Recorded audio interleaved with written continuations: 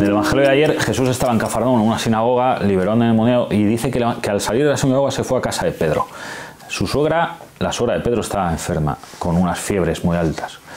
El Señor le tocó y enseguida se curó. Y dice que la suegra enseguida se puso a servirles. Se agolpaba la gente en la puerta de la casa. Todo aquello debió de ser asombroso. El Señor tenía tiempo para todos, les curaba, les liberaba, les aconsejaba, les miraba con ternura. No les despachaba con desprecio ni se ocultaba. Cuando se hizo un poco tarde, subió al monte a rezar en soledad, porque también el Señor necesitaba de esa oración. Y fueron a buscarle los discípulos. Y le dijeron, oye, que siguen, te siguen buscando. Y el Señor dijo, vámonos a más aldeas, a otros lugares, para predicar el reino de los cielos. Para esto he venido, para esto he sido enviado. ¿Para qué hemos sido enviados nosotros? Esa pregunta es la que dejo hoy aquí colgando en el aire.